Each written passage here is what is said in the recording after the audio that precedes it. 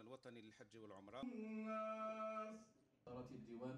السلام عليكم. ومنتسبي مكتب شؤون عام الإدارة ومدير عام التوجيه وهو وهو ثابت. إحنا ما راحش كذا إلى آخره. الحكم تاع الإحكام.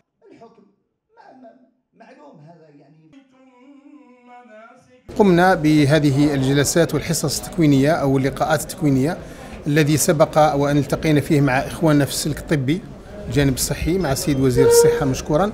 والآن التقينا مع الجانب الديني والإرشاد والوعظ والفتوى حتى نحسس إخوان الأئمة بأهمية ما يقومون به آه، في هذه البعثة من حيث آه، التحضير النفسي والتحضير الروحي والتحضير العلمي والفقهي خاصة المرافقة الميدانية سواء كان في أداء العمرة أو في الزيارات في المدينة المنورة. وكذلك ال- التواجد الحثيث داخل العم- العمائر أو داخل الخيام في منن أو في التنقلات داخل الباصات.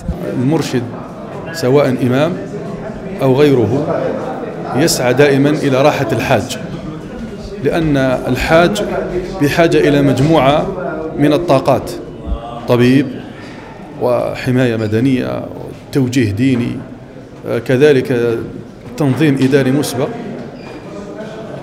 هذا الأمر في الحقيقة مما يشرفنا ومما يسعدنا أن نكون ضمن هذه الثلة التي تخدم الحجيج. التوجيه سيكون من جانبين من الجانب الفقهي ومن جانب الأخلاق. يعني الأخلاق التي ينبغي أن يكون عليها الحاج أو الحاجة بصورة عامة. آه، وال- والآداب التي ينبغي أن يكون عليها. حتى يمثل الجزائر أحسن تمثيل ما دام أن كل جزائري في البقاع المقدسة هو عبارة عن سفير لوطنه. يعني هذا من جهة. كذلك التوجيه وال- والمرافقة الفقهية بشرح وبيان المناسك الحج والأحكام كل كل نسك على حدة.